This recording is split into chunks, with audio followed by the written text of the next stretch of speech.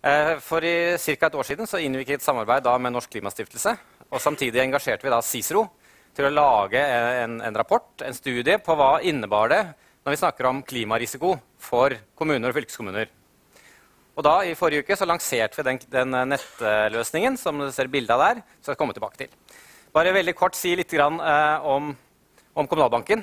Vi er landets nest største kredittinstitusjon. Vi forvalter nesten 500 milliarder kroner. Det betyr at vi har en stemme. Og den stemmen ønsker vi bl.a. til å ha fokus på klima, klimaendringer og klimarisiko.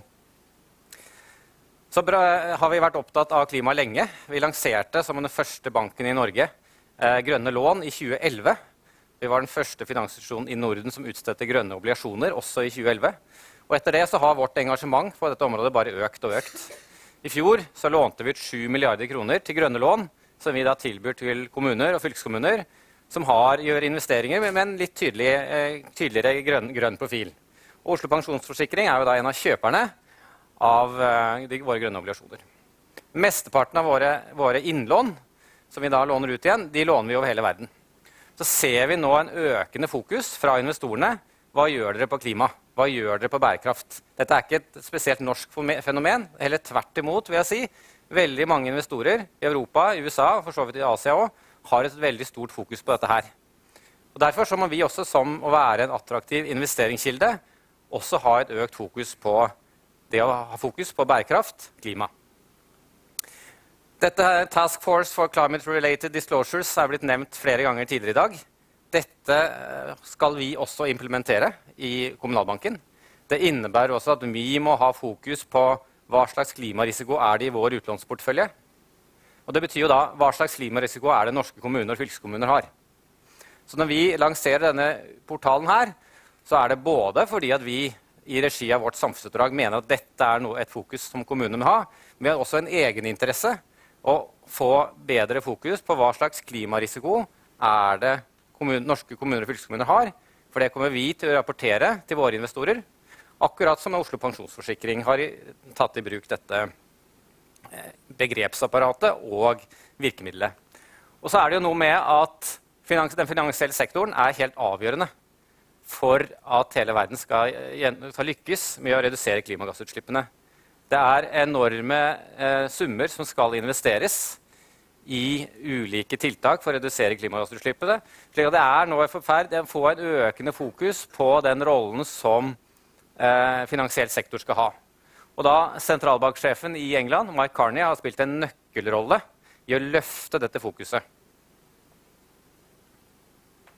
Og så er det jo også, Vi har jo en eier, eh, og denne eieren har jo også stilt noen, eh, stiller jo også noen krav til kommuner og fylkeskommuner. Denne Forventningene til regional og kommunal planlegging eh, ble vedtatt i statsråd her 14. mai. Og den sier, i og for seg på mange måter gjentar en del som, som også staten har sagt tidligere, Fokus på å redusere utslipp av klimagasser.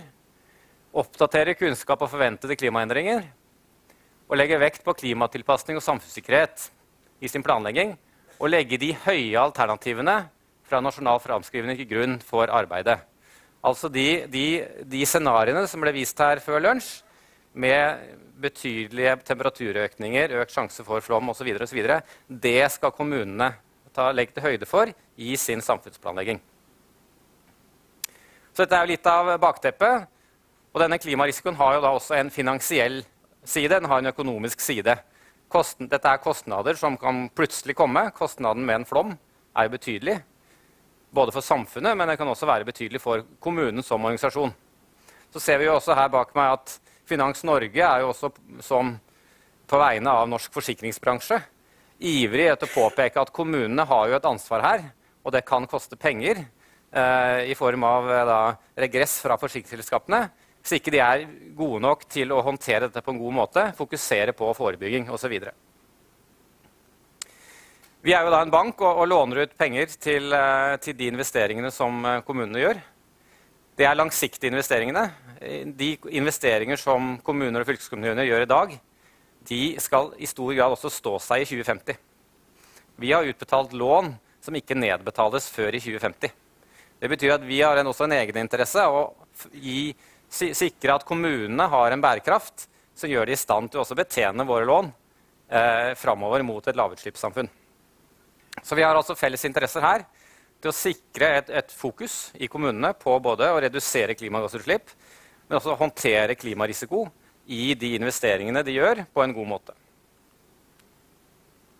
Derfor lanserte vi da denne portalen i forrige uke, som da er et eh, hovedsammendrag av det arbeidet som da Cicero har gjort på, på vår bestilling. Så hvis nå kan dere alle da ta opp mobiltelefonen deres, og så kan dere gå inn på kommunal, kommunalbanken.no slash klimarisiko. Og da kan dere jo bare Nedover her da, så har vi da en, en, en, en god introduksjon til hva, hva, dette innebærer. Mye av det samme som ble, ble sagt her innledningsvis av, av, Anders innledningsvis i dag. Hva handler klimarisiko om? Hva er sammenhengen mellom finansiell risiko og klimarisiko? Så her står det da masse informasjon på, på mer generell basis. Og så kan man da søke seg fram til hvilken som helst kommune, for den saks skyld. Eh, vi kan jo ta Trondheim, siden vi, eh, vi, er i Trondheim. Så kommer vi da inn på en side som er spesialtilpasset Trondheim. Eller hvilken som helst annen kommune. Ser Utsira har sin egen side her. Og her har vi da tatt åpne data fra SSB, som viser da klimagass. Dette er SSBs data for klimagassutslippene i Trondheim. Fordelingen per sektor. Og også hva, hva slags reduksjon i klimagassutslipp må man ha i Trondheim for å nå de nasjonale målsettingene om et lavutslippssamfunn. Så har vi her hentet inn eh, disse klimaprofilene fra Norsk Klimaservicesenter, som også ble nevnt her like før lunsj. Går man inn her, så får man da, her, får man da link til klimaprofilen for, som ble laget for Sør-Trøndelag. Og så har vi også sett på hva, hva slags klimarisiko, eller hva slags næringer er det som er spesielt har et spesielt fokus i Trondheim. Og hvordan vil f.eks. de da, Hva er det som er viktig for den type næringer å, å, å, å, ha fokus på? Så kan man se hva er det man, man bør ha fokus på her.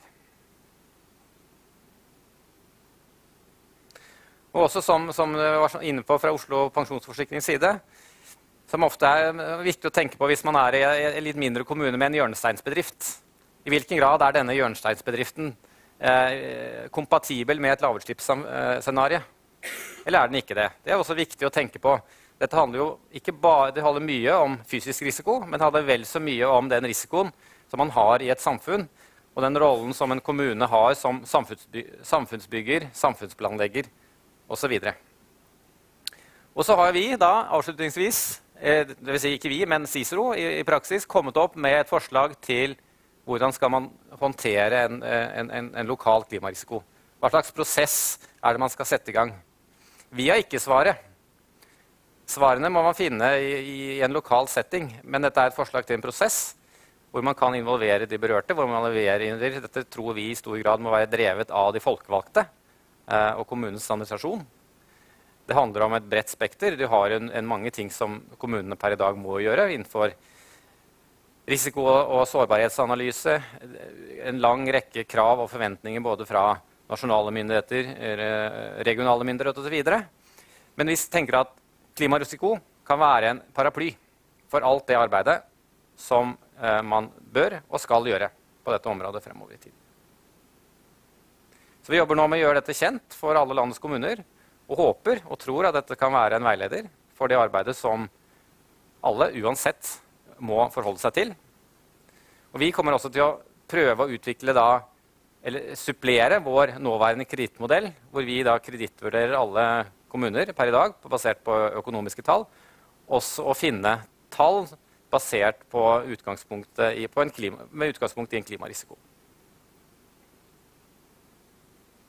Så vi oppfordrer dere til å titte på denne. Kom gjerne med innspill. Eh, dette er ikke en sannhet skrevet i stein. Skal, hensikten er at det skal være et godt innspill for å sette i gang lokale prosesser på området.